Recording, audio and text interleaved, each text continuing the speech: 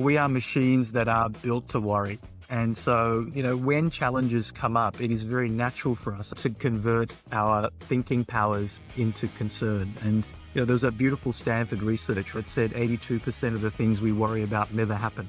So we know all this, right? But, you know, we, we worry about all these things. We operate in this scarcity mindset, which then doesn't allow us to actually realize the, the resources that are available to us.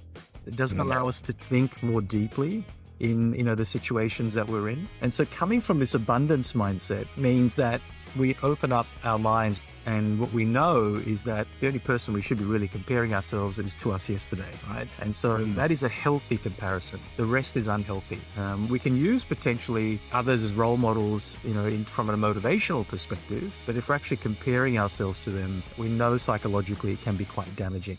I think this is probably the most important thing to pin down as a leader.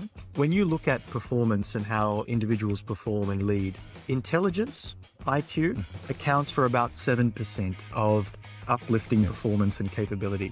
The components of mental toughness account for 27%.